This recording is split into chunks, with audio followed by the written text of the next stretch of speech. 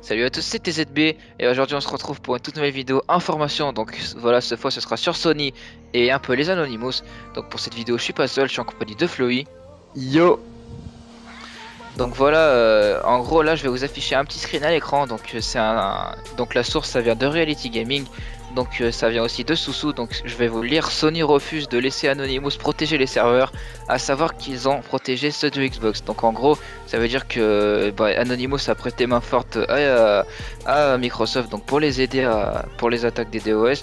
Mais donc Sony eux ont refusé. D'ailleurs, je vois pas pourquoi ils ont refusé. C'est un peu con parce qu'ils sont complètement incapables de bah, de, de, remettre leur serveur quoi sans aide. Donc je vais laisser un peu la parole à Fleury qui va un petit peu donner son point de vue.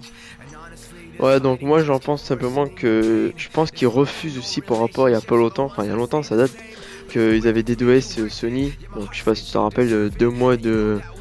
de ouais, il y a longtemps. Ouais. on pouvait pas, on pouvait pas jouer en gros.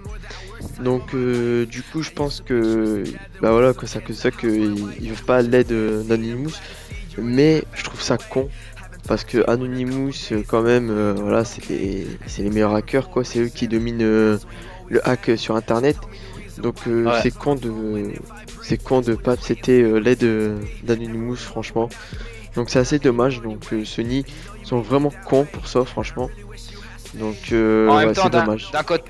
D'un côté on peut les comprendre comme on peut pas les comprendre. C'est que voilà si on se met un peu à leur place, bah ouais, quand quelqu'un te hack pendant deux mois et tout, tu vas peut-être pas travailler avec eux, c'est normal.